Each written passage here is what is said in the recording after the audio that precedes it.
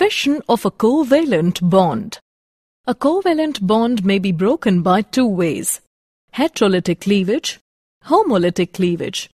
In heterolytic cleavage, the bonding pair of electrons remains with one of the two fragments between which the bond is broken. For example, all carbocations have a positive charge on the carbon atom. Classification of carbocation Primary carbocations In this, the carbon atom which carries positive charge is attached to only one alkyl group. These are also called 1-degree carbocation.